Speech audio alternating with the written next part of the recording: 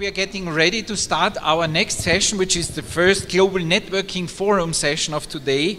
And it is very much fitting that we are able to welcome now so many representatives of the Academy, students filling up the room and getting interested to a session that is actually focusing on space in schools and the role of academy, which is really very fitting now.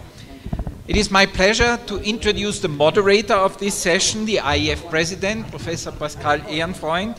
Pascale, the word, is, the word is yours, and let me mention that Pascale is not only the president of the IAF, it is especially important to mention this at this session that she is also the president of the International Space University, so as we are talking about academia and schools.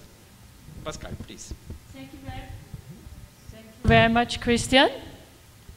So welcome uh, to this global uh, net uh, networking forum, Space in Schools and the Role of Academia. Um, in the last years, we have, have, observed really a very dynamically evolving space economy.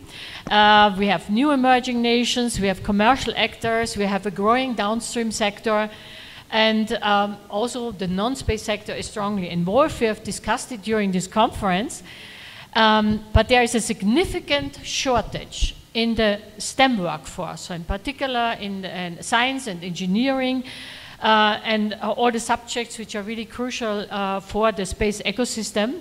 So what we need when with this growing space economy in the future, we will need tens of thousands of highly skilled employees in the space sector, especially in the industry, um, uh, in order to be responsible uh, for all those space endeavors we are planning right now. So um, educating the future space workforce uh, is pivotal. And uh, we want to discuss today uh, in this GNF uh, the role of school education, but also academia. So school education is very important to start early, you know, to uh, get people and, and, and young people interested in space, in the space sector, but of course also it's very important to uh, educate them right on the, on the, in academia and universities all over the world. And interdisciplinary education is also something which is really crucial for the space sector. Um, and we have, I want to introduce um, uh, my distinguished panel members because they are coming partly from many different uh, backgrounds, uh, from school education, from academia, from organizations which are promoting uh, education. And uh, so, um, the first one beside me is Dominique Tilmans. She is the president of IRISI in Belgium. Uh, then we have Greg, maybe you uh, guys do so like this. Yeah, Greg Kennedy. He's the director of collab uh, collaboration and concept development, STEM School Highlands Ranch in the US. Then we have Erasmo Carrero, Carrera, pardon, professor of aeronautics and astronautics, Politecnico di Torino. And uh, then we have Gustavo Medina Tanco. He's the professor. Oh, sorry, sorry. you switched. Oh my God. yeah, it's good to know. Yes, yes. Actually, I have your photo, but not my glasses. Yeah. Um, uh, Gustav is uh, from the Universi uh, Universidad Nacional Autónoma de Mexico. Good. Yeah. then we have Armengol Torres. Yeah uh, Vice President of uh, Coordination and Education of the World Space Week Association. And uh, we have uh, Diego uh, Paul Sanchez Lana. He's a Senior Research Associate at the University of Colorado Boulder, and I think you are a native uh, Ecuadorian, as I know. And um, so we are going to start a little bit um, with discussing uh, with a statement uh, uh, of everybody. Some of our panel members have slides, and I think we are opening with Dominique and the slides. And for, before I want to say that um, we are opening with uh, some kind of remarks of each of our distinguished panel members, and then you can ask questions. And um, you can see here on the screen that you can engage with the tool Slido, and for because we have such a full house and a lot of external participants today, uh, just to let you know, when you are using um, uh, Slido, you can ask questions. Uh, those questions will appear here, and I will collect them and later on um, actually uh, ask the questions to the panel members. Yeah, did you notice? Thank you very much, and then we start with, the, uh, with uh, Dominique. Thank you, Pascale. Uh, please, can you launch the video of Switch to Space to introduce? Okay, thank you.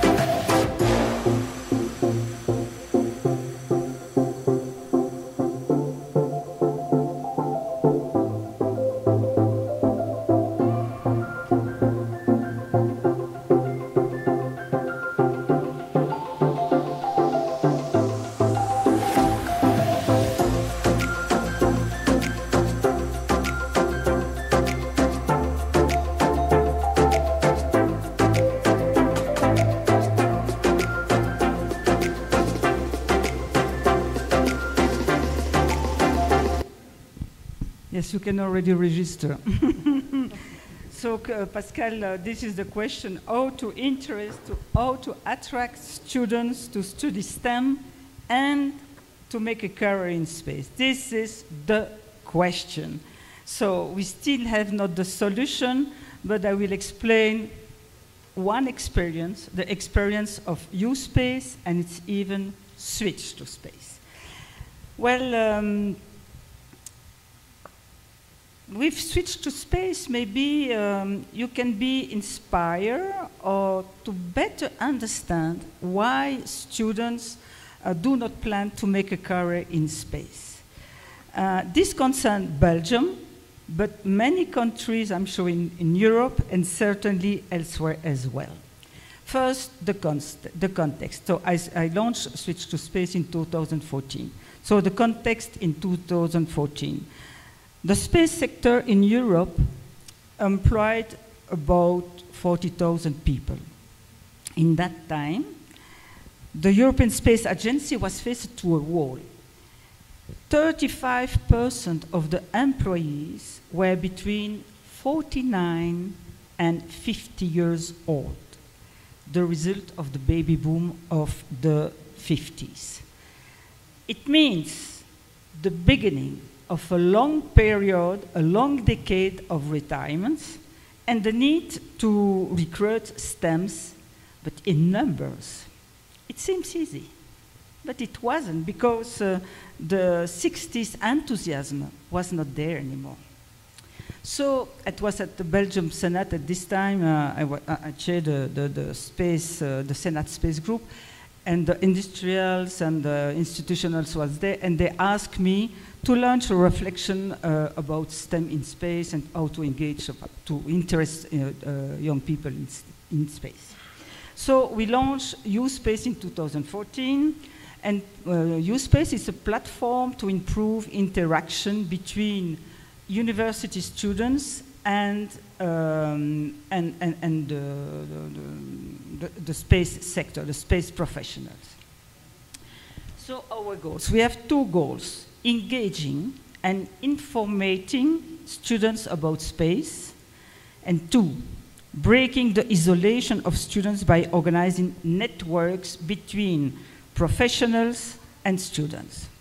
So we start, our first experience was uh, organizing face-to-face -face meetings. So I put the student in one side and the professional to the other side, face-to-face, -face, and the students has one minute to present themselves When the professional is interested by the student, he raises the hand, so they recognize themselves. So after all presentation by the students, uh, we, we share sandwich beers, success with the beers, with the beer, and, um, and then networking. So uh, I, make I make short. Huh? So the um, second experience, we decided, because it's difficult to contact the students, so we decide, we say, okay, difficult con to contact the students, we will go into the university. We have been into almost, practically almost university in Belgium, and uh, with three specialists, one engineer, one uh, researcher, and one specialist in space application. Well, the experts had, had tw uh, 20 minutes to explain their path, their job, um, the, the company where they work, and uh, the job vacancies. After the, uh, after the presentation, it's again sandwich, beers, and networking. And there it was really interesting uh, to discuss with the students, and we was really astonished. Even in the last year of engineering, they don't plan to make a career in space. They don't think to space. And second, the students, then this is important, and it's, the students don't know the numerous domain in space. And it's normal. There is no information in the, given by the universities or given by the professionals. So they arrive at the university, they don't know the numerous domain of space. And third, they ignore, they ignore the, the, the, the numerous job, jobs uh, in space like biology, medicine, agronomy, nutrition, biochemie, botany, climatology, geomatic, optic, uh, sism, sism, sism, seismology, and so on. And there are many more, are many others. So with these uh, findings, we couldn't sit on our hands, and we decided to launch Switch to Space in 2018. Um, it's a one-day event at the Egmont Palace in Brussels. It's the place where the European Commission organized its European Space uh, Conference. It's an historical palace, and I've, we thought, and I, I, and I thought that it's very important to associate historical, uh, uh, cultural heritage and science. So it's one day event. In the morning, the morning is devoted to a general overview of space, uh, about space. So it's ESA, European Commission, industry, and so. Then you have a lunch, and during the and we have a very good caterer. It's also important. And um, during the lunch, of course, it's networking, booth of the industrial uh, from the industrial, and so. And in the afternoon, we have seven topics and in each topic, we have four, five presentations by space experts. And then, of course, we have question and answer. So we had, the first time, 50 speakers. That's a lot. More than 450 students. Belgium is small, huh? but 450 50 students, and all, uh, um, of, all, of all over the country, and 90 space experts.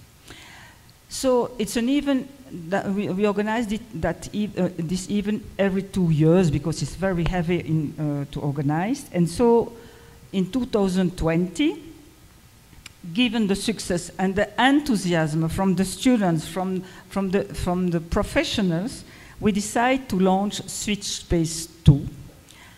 Okay, in 2020, you know what's happened in 2020? It was the COVID. Hmm? So uh, we decided to launch it on, uh, on an hybrid format.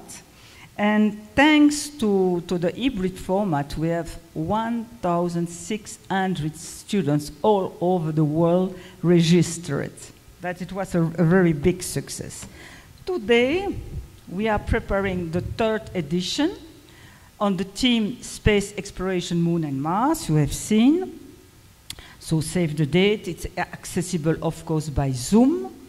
And uh, of course, you can register. And so I just pass quickly the, the, the, the slides. So it's diverse bag backgrounds, it's uh, various statues, of course. And this is the plenary you have seen on the, on the, um, on the video, the lunch. We, we will make a speed, speed dating and we have two walls. One, one wall with all the CVs of the students and one wall with all the, um, the, um, the job vacancies. Then, and then we have all the programs that you have seen um, and, and uh, on, the, on the video. And at the end, at the plenary, at the end, so we, we ask, before starting the, each, to, each topic, we ask uh, students to, to, to make a summary of the, of the topic and uh, it must a young one it's not it must not be a professional. And uh, so the, after that after the sum, the, um, uh, the summarized the, the, the, summary of the, the topics we, we have we have the chance this year to have the um, many astronauts who will be in Belgium uh, during the space weeks. So this is uh, our event. This is the, the, the room of the Palais d'Egmont, it's the half of the, of the place. And this is my message to the, to, to the young people, to the, to the students, for their professional life, even for their private life. Uh, it's important to, to go further and to be determined. So please make them, please make so important. Thank you very much.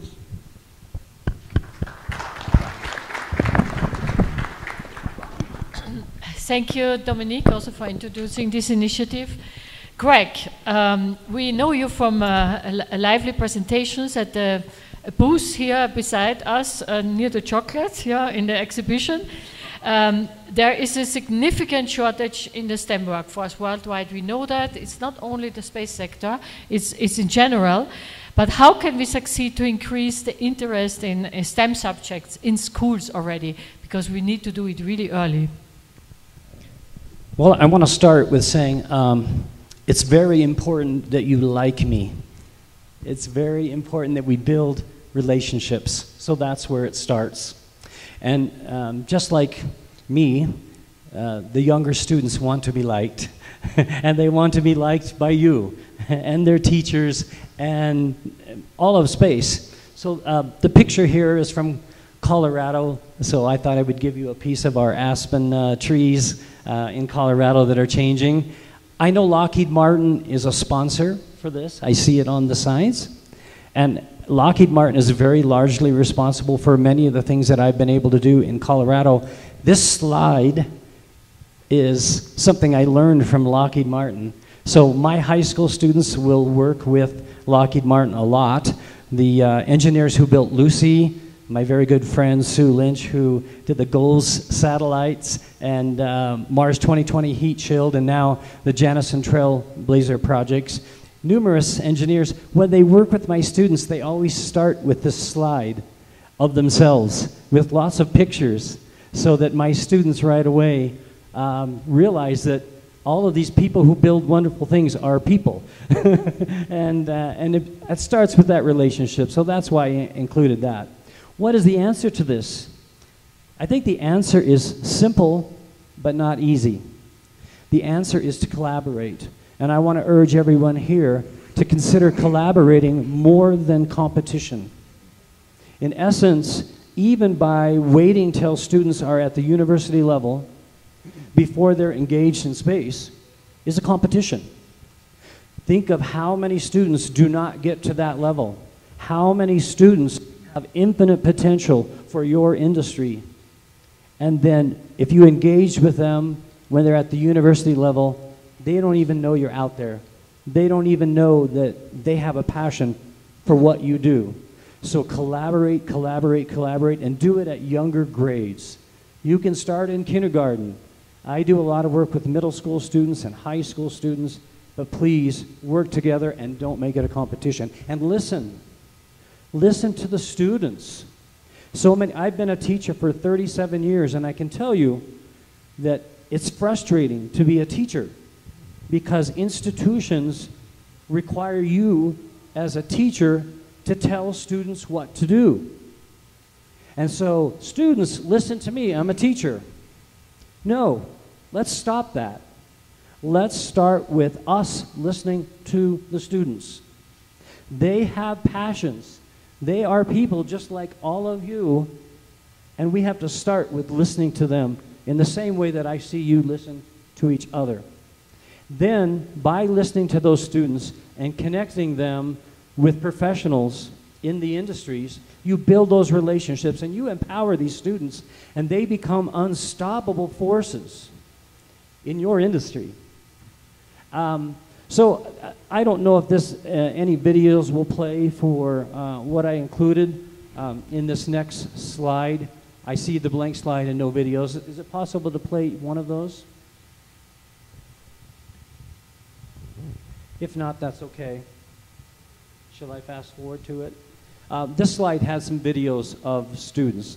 There's one. Awesome. Gabriele uh, in the pink shirt. You have to see this. My job is very fun. I watch miracles all day long. And Gabriele is from Belize. In the fall of this year, Gabriele didn't know what aerospace was at all. And she was very, very shy. And in nine weeks' time, she had worked on the problem that none of you in here have solved. How do you go food on Mars? and she presented at AIAA's Ascend International Conference. And it was amazing. This is a little clip, and I want you to look for her passion. Oh, I can't play them from here. Well, we won't play them, that's fine. Um, visit me in the booth, and you will see what I mean um, by these miracles. Uh, another program you see, an all girls team from Belize, the same thing. Um, Colorado School of Mines had told me that our student presentations from Belize and other countries we worked with rivaled the university presentations. After nine weeks, nine weeks of building relationships and trust and empowering students. I hope you sense my urgency in this. so, this is Gabriele, and again, I would ha be happy to play the video for you. Gabriele, after she was a um, participant on a team, How Do You Grow Plants on Mars? She became what's called a legacy leader peer to peer empowering. So I work with uh, numerous industries, not just aerospace. GE Renewable is one industry I work with. And, and just a few weeks ago, we ended a, a global collaboration on um, a carbon free grid of the future. And Gabriele went uh, into this adventure with her, with teams from Belize as a legacy mentor. So she was able to break down all the fear that the other students had. And so right away, the students were engaged. They felt empowered because it wasn't an older authority telling them what to do. And I'll go really fast here. Uh, I would also like to uh, let you know that one of the, the challenges are teachers. And in the programs that we run, we're, we do not teach. The teachers facilitate. They facilitate a relationship, which includes project management, system thinking, RFPs, all the things that you all do that teachers are not taught to do. And, and so, um, with the help of uh, all the teachers that have been through numerous pilots, we put together some best practices to help teachers make that transition. My lead mentor for my projects is Dr. Matula. She's amazing. She trains astronauts for NASA in Houston. And we also have mentors who uh, built the ISS and, of course, Lockheed Martin. But Dr. Matula has worked with me to develop a best practices for aerospace mentors. So I know a lot of industry people that say, like, hey, you want me to work with students. I'm not sure what to do. and so Dr. Matula has really helped with that. We do not want industry experts to make a lesson, design curriculum, or classroom management. We want them to build a relationship and listen to students. And because you already know about what you do, it's amazing. You listen to their ideas and you're able to take that to a higher level for them just by a simple relationship. Almost done here, action items. I want everybody in this room to consider taking action on this now.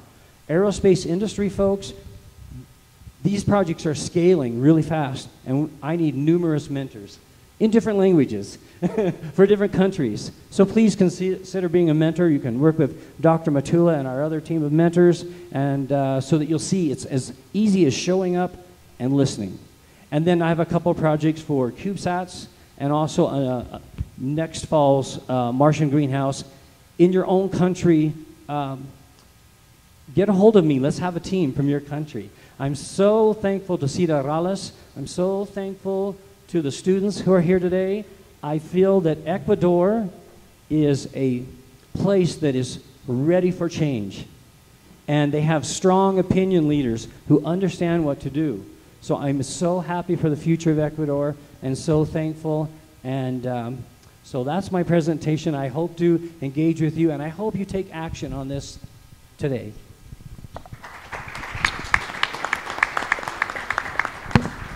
Thank you very much, Greg. And I just wanted to tell you that I have many, many, many questions on Slido, so uh, I have, have to keep going. Um, uh, uh, Gustavo Medina Tanco, uh, you um, are from Mexico, from a university. How interested are um, students in this uh, in the space sector and in Mexico, and how is the academic system in encouraging uh, the students to be part of this new space generation?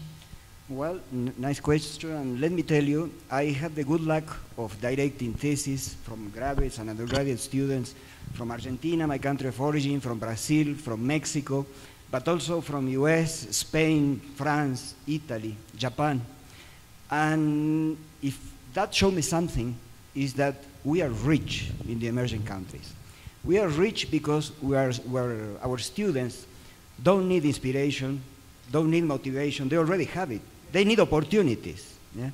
And this is onto us. Yeah? This is the important thing and the important message. Yeah? So in that vein, let me show you a little bit what is our approach to solving that problem, to attacking that problem in Mexico, and that we are very happy to expand to every emerging country. The first thing is to make them study on concrete projects, hands-on, yeah?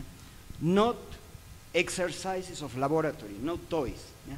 For that, one important thing, and that is another message, that we can start with international collaborations in science. We actually do as a, uh, use as a driver international collaboration, specifically in astroparticle physics and ultra-high energy cosmic rays, which is one of my areas of, of background. For that, we produce real instruments for science, frontier instruments in physics that are used in the stratosphere and space, we also do, of course, small engineering projects that in general are prepared in laboratory but are tested already in flight in the stratosphere. We fly at least once a month for that. We move into, na into nano satellites, not because uh, nano satellites are cool, yes, they are cool, of course, but because we have a vision of where we're going to go and we have a niche very well defined that for a country like Mexico is certainly precision agriculture and sustainability. And so we are focusing all our instrumentation into that direction and connecting companies for that. And for that, we do instrumentation that we test in the stratosphere. We are moving into space. We already launched our first satellites. Another line beyond LEO, thinking on the future now, at 10, 10 years, 15 years, we are developing, and this is another niche, micro robotics for using in the moon. And I will show a little bit of that, and this, that implies not only engineering, but also basic sciences and frontier sciences, because we will go there to measure things that nobody has measured before.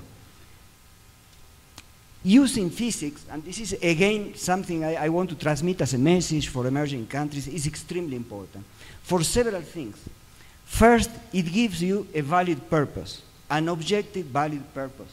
Otherwise, I see we are making many times toys in a random fashion. Yeah?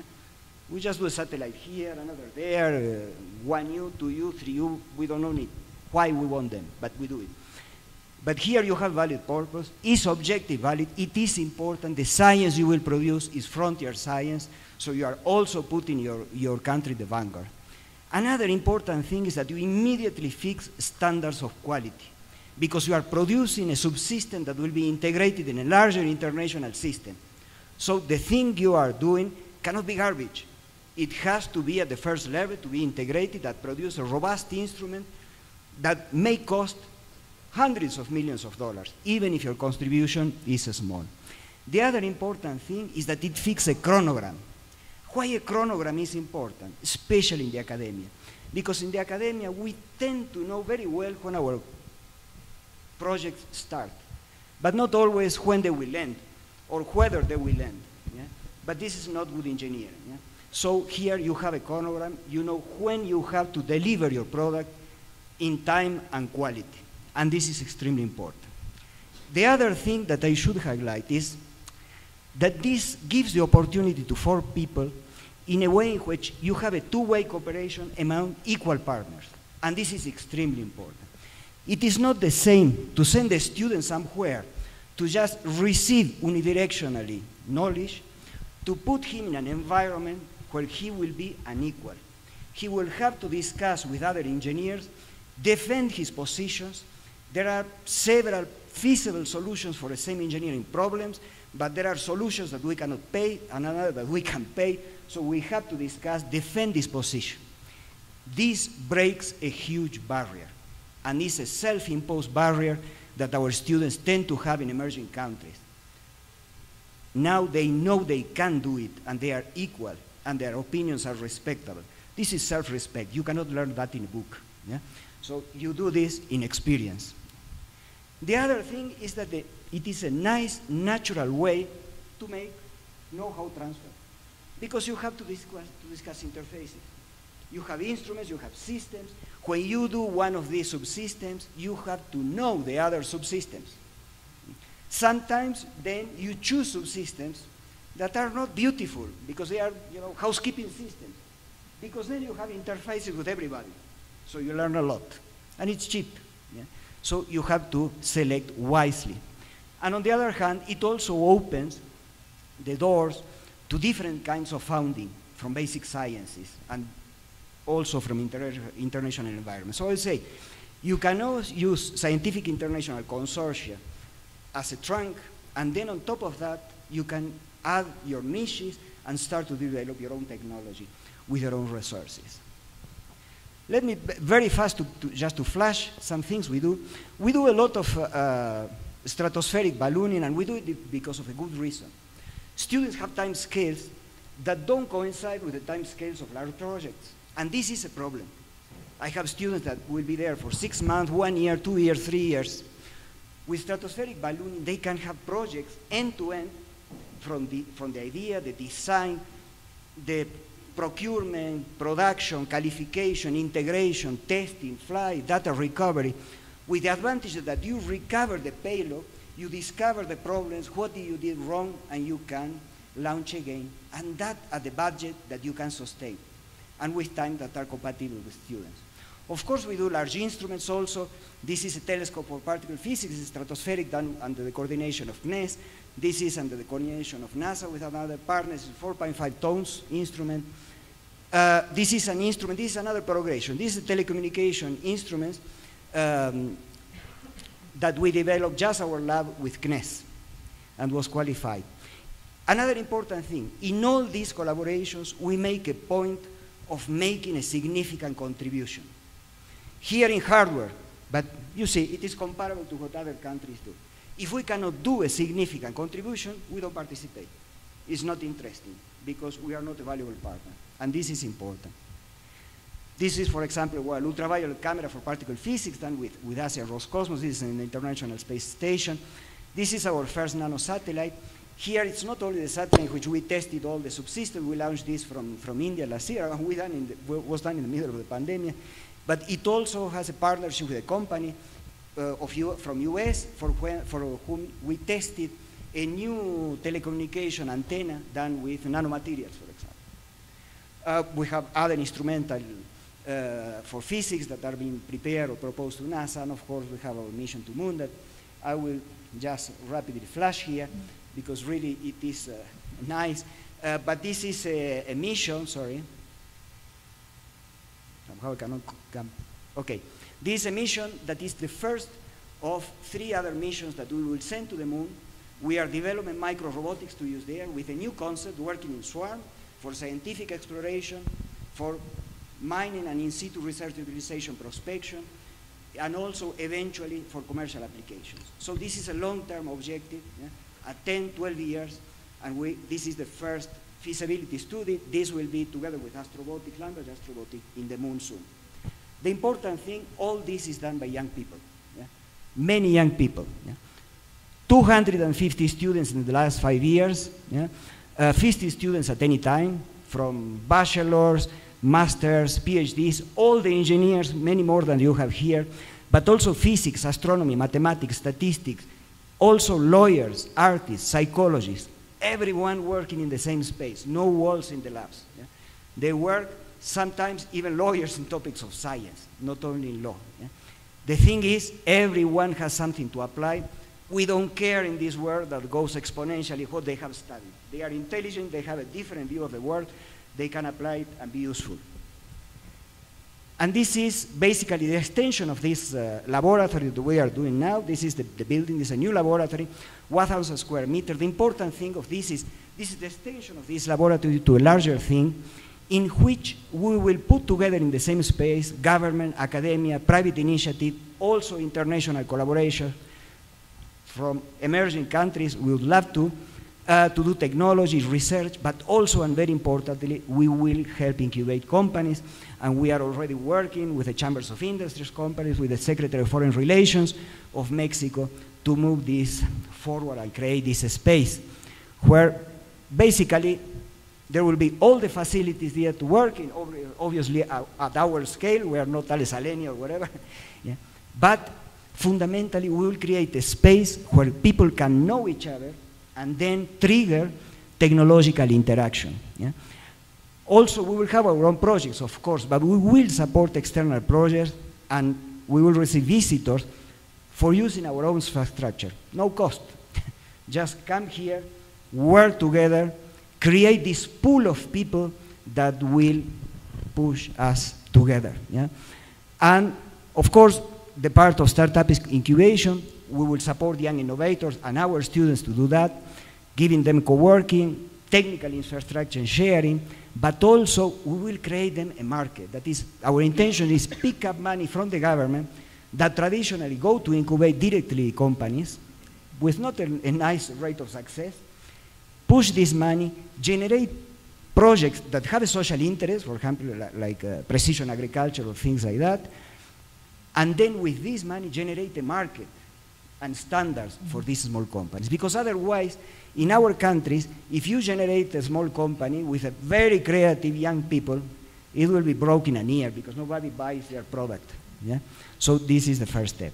Well, sorry about taking that. And the other thing is, which is important for us, we not only receive money from institutions, we also have involved lots of companies. Actually, the last satellite we launched has no money from the government.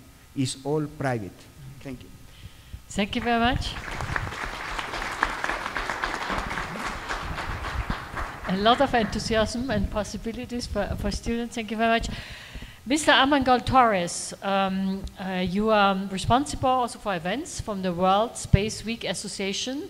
So your association actually tries to strengthen the link between space and society uh, through public education, dialogue, uh, events. Uh, what kind of activities do you support uh, and, and which audience uh, are you actually reaching with your activities? Thank you, Pascale. I am really honored to sharing this, this panel here, and especially I, am feeling emotion because uh, looking at this particular audience with some, so many students, thank you for coming and thank you the organization for making this possible. This is not usual in, this, in these meetings. So, so let me um, uh, answer the question, uh, Pascale, uh, describing uh, first which is uh, the origin of the World Week Association. The World Space Association uh, was uh, is an initiative that was born in the UN OOSA. You know, this is the part of the United Nations organization that uh, relates with the outer space uh, subjects. And this uh, was born with the idea of having uh, some kind of instrument for developing during each year, only during a weekend, you know, a week. Um, the making making the, the the, um, making the world know the advantages of the, the use of the space technologies for the benefits of the humanity. So this is the idea. And why is this in between the 4th of October and the, the 10th? In October 4th, if you can remember the history, in 1957 was when the first satellite in the history of the space uh, uh, history in, in, the world in this, was the Sputnik. And 10 years later, in the 10th of October of the 67, the United Nations made the, declaration of the use, uh, Pacific use of the, the outer space. So that's why uh, the origin of the, uh, the Space uh, Week is done between these days.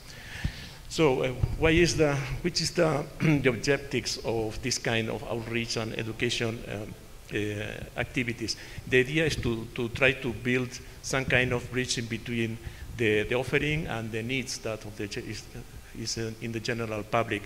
And this great gap is in between who has the knowledge, who has the, the contents, who has the terabytes of uh, images that come every day from, from the, the observation satellites, and in the other hand, uh, we find the, the, needs of the people that uh, can be benefited of all these uh, technologies applied in their daily, daily needs.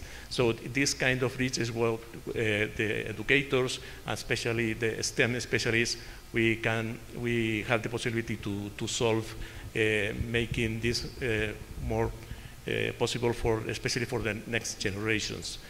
But apart of that, uh, let me show some of the the results. The last year, in fact, every year we, we choose a theme that uh, makes or, uh, the, the inspiration of the, uh, each uh, World Space Week every year. Last year, the theme was the, the roles of the women in space, and you can see a specific poster that was uh, generated for this theme with uh, several roles of this kind of girl, girls of women in the several uh, professions that can be found in the, in the space industry. And as is usual, uh, despite the, we have the, have the pandemics, we reached more than 6,000 events, events that are uh, developed especially in schools, in, in universities, in uh, libraries, uh, in space uh, museums, and, and whatever. And the majority are made spontaneously. You, you only need a, a, play, a, pace, a space, you need uh, speakers and a group of people interested and motivated for making some experiments and explaining the benefits of the, the space uh, systems and applications to, to the society. We are reaching almost 100 countries. In each country, we have uh, some kind of uh, ambassador that is representing and is trying to, to help the, the organizer of events with ideas. Uh, we reach millions and millions of, of other uh, people uh, using the, the, the, social media campaigns and channels we usually use for, for disseminate these activities. And the results last year, you can see in the list, the top 10 best performers, you can see the majority are emerging countries and our colleagues have expressed it, they don't need um, uh, to be motivated because in the emerging countries, people are, is already, are already motivated for making these kind of things. You can see the majority of, of them. And especially the countries that get uh, great results is because the uh, education ministries are deeply involved and committed in supporting the World Specific celebration in their country. This is when this is best is working in, this, in these countries, and you can see the results over here. So apart of that, let me explain. Ah, so first, you can see some of the more featured uh, activities that we uh, could, was that were developed last year when the involvement, involvement of some uh, space agencies like the German DLR, uh, the STEM Alliance in Europe, and also with the participation of the US Vice President Kamala Harris and the, an astronaut, uh, connection with the ISS, uh, the National Laboratory Office, and the ESERO, that is the great network of space education for in, in Europe who are contributing every year for the development of these uh, activities. And uh, beyond of that is not, you cannot perhaps read because the, the screen. Uh, we, are, we were nominated for participating in the IAF uh, committees of Space Education and Outreach Committee, and also to participate in the Committee on Developing Countries and Emerging Communities, where we are uh, uh participating uh, with ideas and so on. And as the main results, you can see that the, uh, we, we, detected that the activities were highly appreciated for, by the educators, especially for the participants, the, the students, with the great benefits because this uh, awakens the many vocations of STEM uh, that finally are going to, to, convert, to be converted in the workforce that uh, already today is scarce. No? The, the talent the companies, uh, many of them were expressed that they are, have difficulties to find these uh, specific profiles. You can see now uh, the, that we have changed the, the theme this year is space and sustainability with the idea uh, uh, uh sustainability in the both ways, working with the space for uh, having the, developing sustainability in Earth and from Earth working for accomplishing the sustainability in space as well. No? And of course, we get the support of some industrial supporters because it's difficult to get as expressed uh, before, the support of uh, public resources.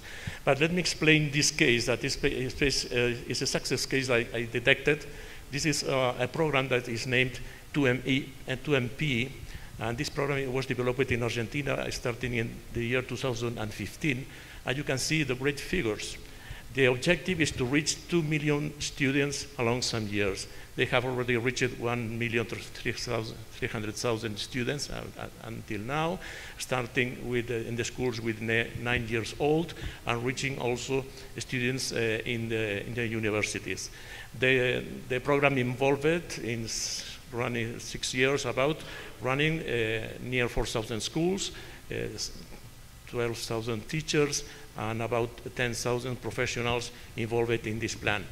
And which are the benefits? The benefit is uh, because all these million or near to million that has will reach at the end of the program, these students were using, uh, starting with the nine years old, particular uh, applications, the majority are of Earth observation, uh, that are installed already in the laptops that also were distributed by the, the Argentinian government. I remember that in 2015, uh, the internet didn't reach the, the schools uh, in that country yet. And the, the, the innovation is that they use the, the space technology and resources not for teaching space, but teaching the usual and current subjects in history, geography, physics, mathematics, and anything. So the idea is not to teach the science of space per se, but to teach the current uh, topics. For example, uh, this is a particular uh, case when uh, students uh, have to study the epic uh, the endeavor of the General San Martin when General San Martin crossed the, the Andes, you know, for liberating Chile and other uh, South American countries. He used to, to, to go different paths uh, crossing the, the Andes. And this is taught, uh, this is history, using the resources of uh, Earth observation images of the same, I don't remember, I'm not sure if this was in winter or summer, I, I suppose was in winter, using the same images and making calculations of the path and the, the, the heights of the mountains or, or whatever. No? So the idea is to use the, these um, resources for teaching the regular uh, subjects, and at the end, the, the country will have 2 million students that will uh, sooner or later uh, use the same uh, tools for the professional applications in, in the future, not necessarily in, in space. Another success space was recently uh, was uh, this um, uh, space symposium Barcelona held some weeks ago, where near half a, hundred, half thousand attendees were discussing how we use to to teach our space in the in the universities in the last years. So more or less, this was the was what, what I wanted to, to explain today. Thank you. Okay, thank you very much.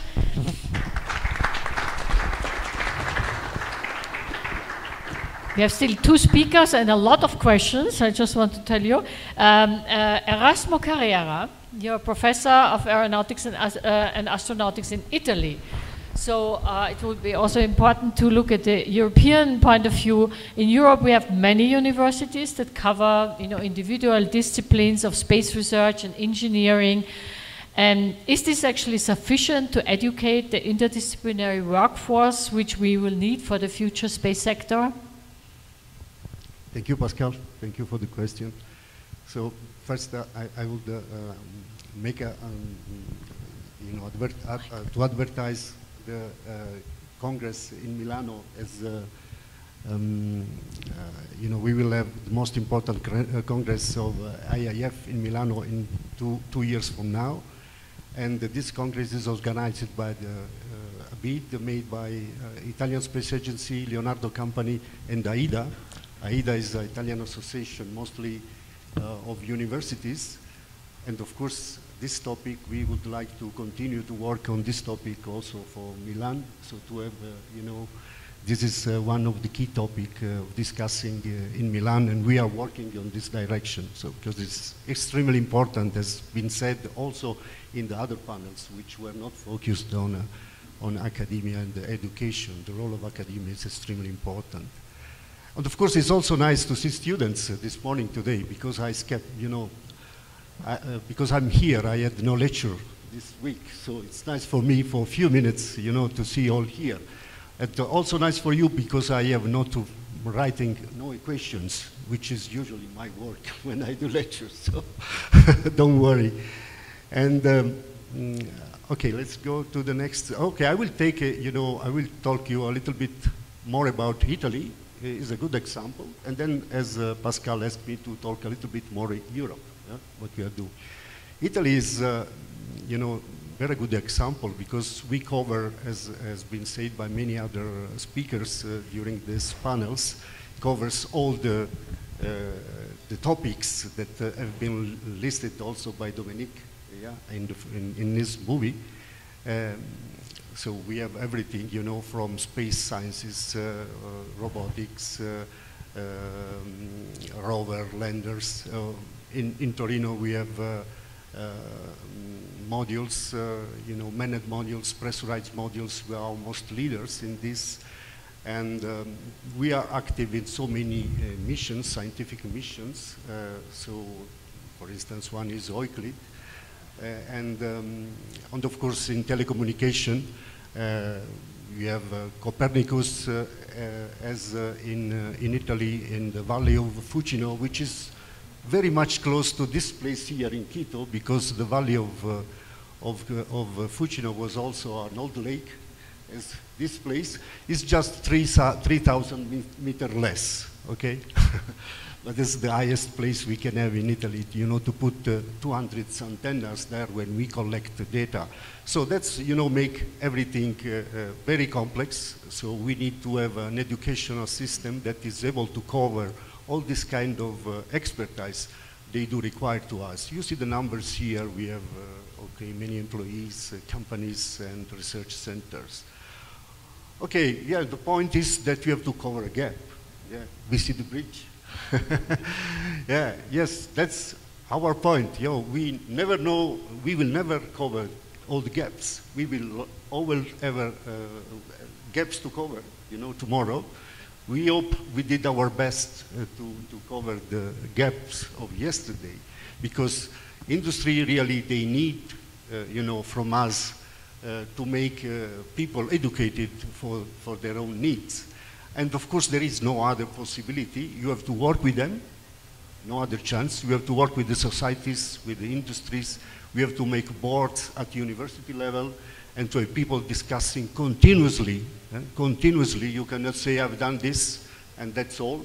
You have always to check it you have two three times per year uh, with important panels, meetings, and so on. That's, that's what you have to, to do. Okay, see, uh, was just, you know, showing, I said, as example Italy, just to, to, to go on something concrete. Yeah, Italy, as uh, you saw, the black uh, points are places in which we have education in aerospace. So we have so many places, 30 universities that involved in aerospace we have 10,000 students, which is an army, yeah, right? So, and uh, uh, most of them, now we have 40% uh, in, uh, in, uh, in space. They are really very much passionate in space. You know, space is a passion, right? If you ask the students, why did you start to study space? Why? You know, when I came here uh, on, on Monday, the taxi driver asked me, what are you doing in Quito? And then I said, I'm just, uh, you know, taking part a conference on space. And then he said, what about ET? Are they really there waiting for us somewhere? So that's, you know, something is for common people. They are interested. You can imagine students. When they come, you ask them, they have ideas. You know, that's nice. We try to talk to them why you did uh, and they have some ideas. Sometimes the idea is really strange. If you had to put a mark on that idea, you could put zero, right? because they are really no sense. But in many cases, they are very strong motivation.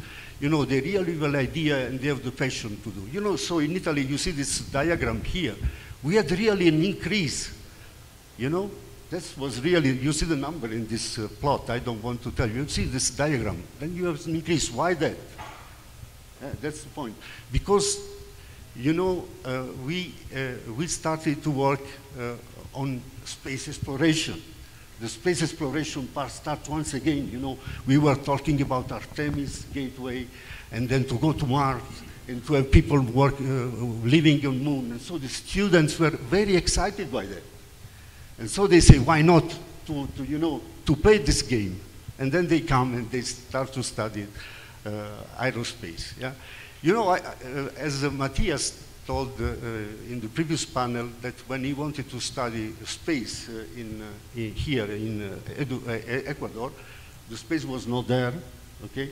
I remember when I, uh, I, graduated in aeronautics, there was uh, only possibility to do space in Italy in two places, Rome and Torino.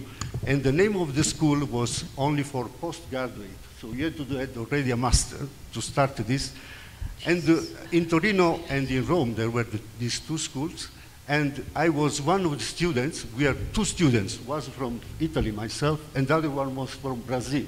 Sorry for that. Okay, and now we have this new, new, uh, new team, space economy, space law. We had uh, already, uh, you know, on, on a workshop, uh, good, good people making, you know, these things running in the AIF, Professor Marchisio, Gabriella Rigo, they are working a lot. Space economy, you have started space economy in Italy courses this year, and just something about European level. You know, European, um, you probably are aware that in Europe we have this framework.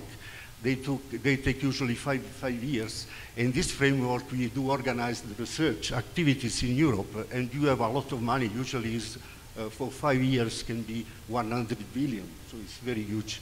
And in this framework, we do develop uh, calls, and we ask to people to make, uh, you know, educational materials and to try to cover the gap. For instance, in the past call, the Copernicus, the use of the infrastructures, you know, for improve the life of, of uh, uh, inhabitants of the, our planet. And this, this uh, just want to, to, to, tell this because uh, this point of multidisciplinary to have people uh, working together from different fields is not easy. For instance, in the next call, which is continuation, in this, if you go to the name of this project, you will find uh, internet website materials available there, also easy to use, you know, uh, learning sessions. And they decide, for instance, to have only one call, because in the past event, uh, uh, uh they had uh, two projects funded, and they, one was for the upstream, and another one was for, was for the downstream. Though they said we want the people together, they just funded one call for the next. So sorry for being long, Pascale. Thank you. Thank you very much. a lot of helpful information. We would need certainly two hours for this topic. Uh, and now that uh, I come to the last uh, speaker, Diego Paul Sanchez Lana, I think you are from Ecuador, yeah? And you yes. are now in, uh, in, uh, in, um, in the University of, of, Boulder, and you uh, work on very interesting space missions, also asteroid sample return mission and so on. So how do you think that we have to engage young professionals to be part of the space sector and how do we motivate them? And how was your story, you know, coming from here to Boulder working on OSIRIS-REx? Well, can you hear me? Okay, thank you. Well, first of all, I'd like to thank the conference. I'd like to thank the organizers for inviting me here. It's the first time in 20 years that I can actually come back to my country for a conference.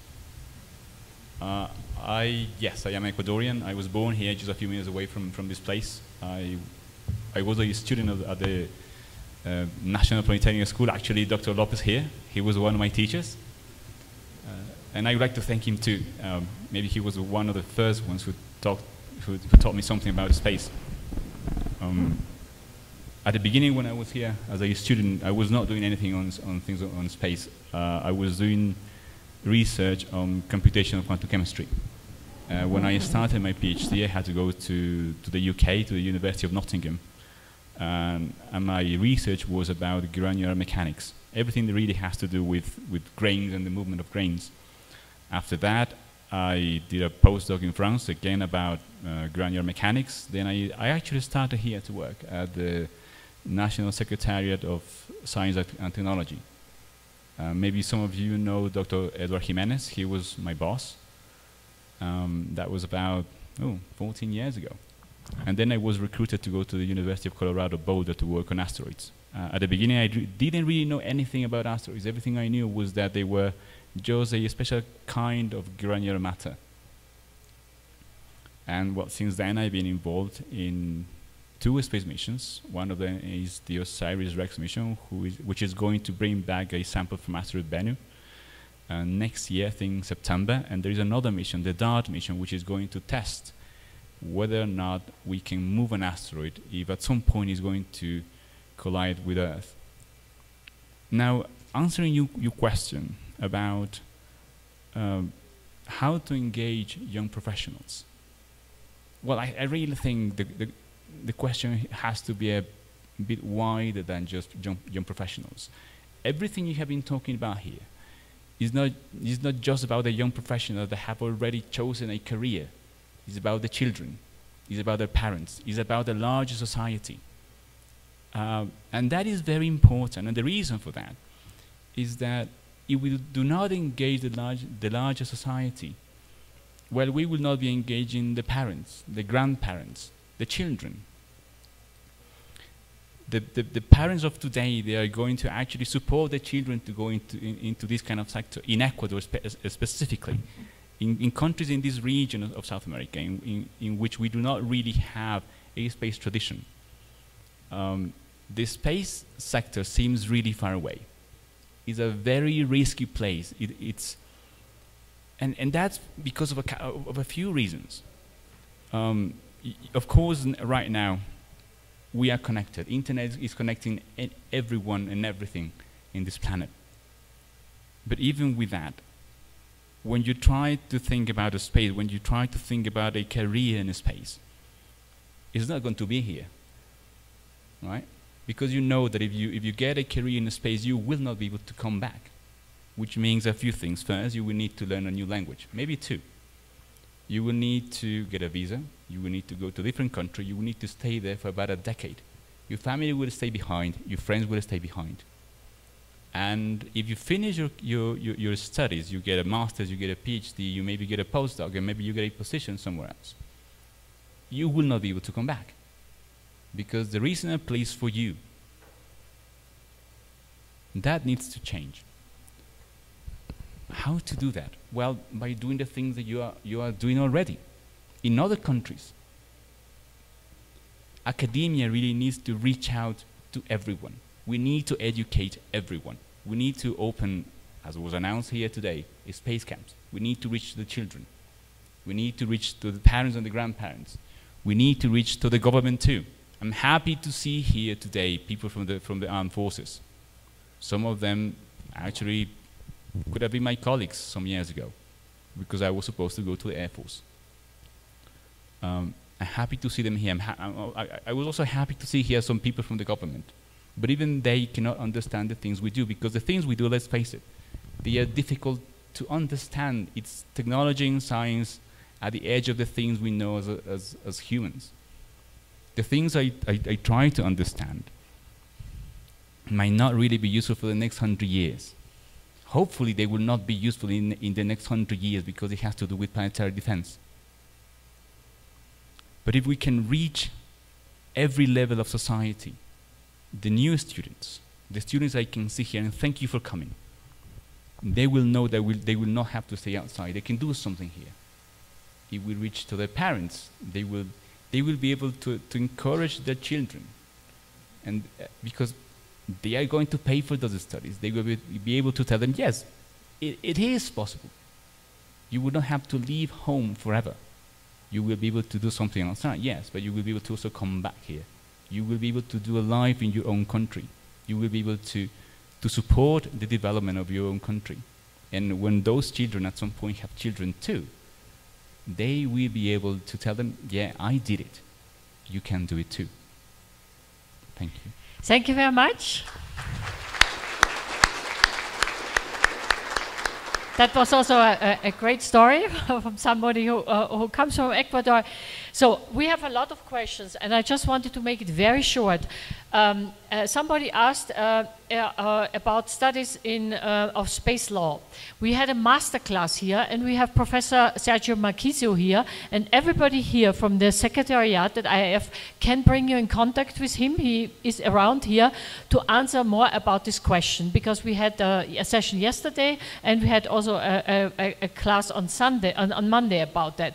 And then there are several questions about um, do you agree uh, that space education is uh, uh, uh extremely relevant and important for space uh, for a space ecosystem? And if you lack it, can a space ecosystem actually survive? More or less. I think everybody of us, and I don't need to make a lightning round here in that, this is clear. Without space, space education, you will have not we have no good working space ecosystem, and that's important for every country.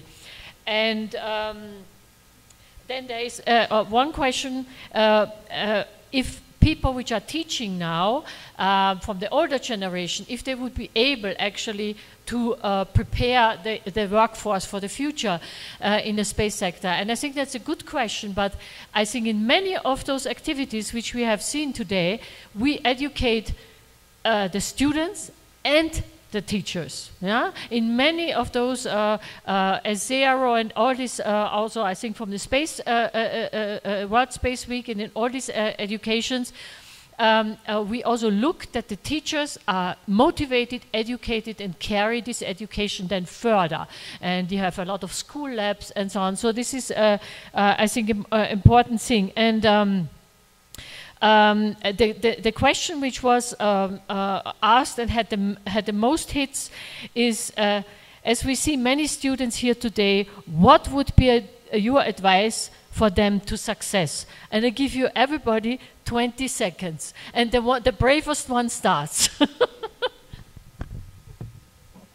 Greg, is, Greg, is, Greg, Greg is always ready, yeah?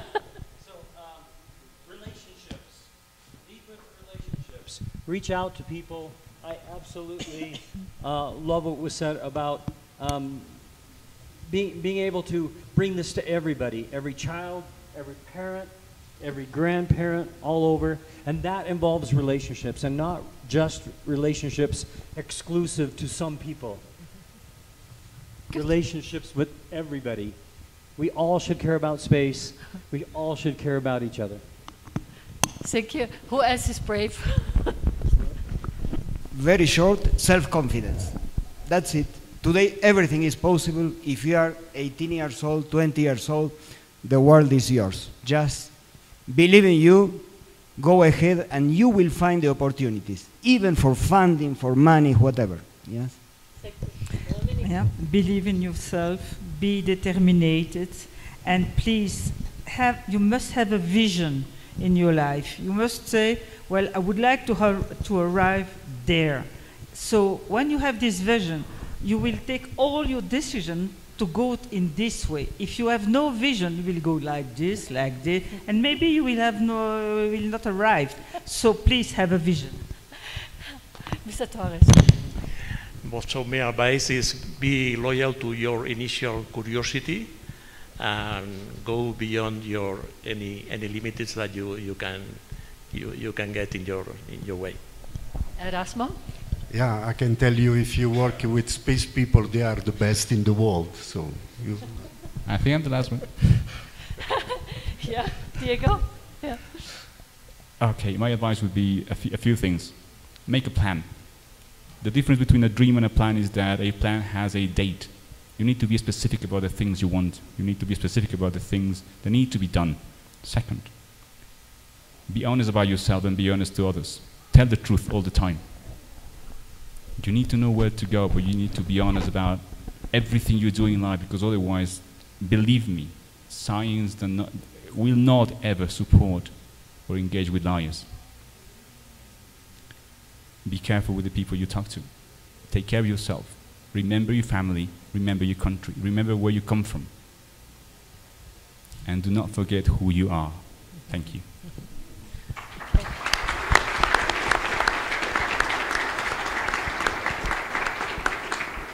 Thank you very much uh, for listening to this panel. I thank really all the distinguished speakers. They are all available. There is a chocolate tasting now, but please don't run away. Um, uh, they are all available and they will be in between the chocolates. Thank you very much for, for, for, for listening to this panel. Thanks a lot, Pascale, uh, for the moderation. It's obvious with so many students and young people in the room, this panel needed to have a bit more time. Thanks to all the speakers, and please, if you could come forward for the traditional group picture.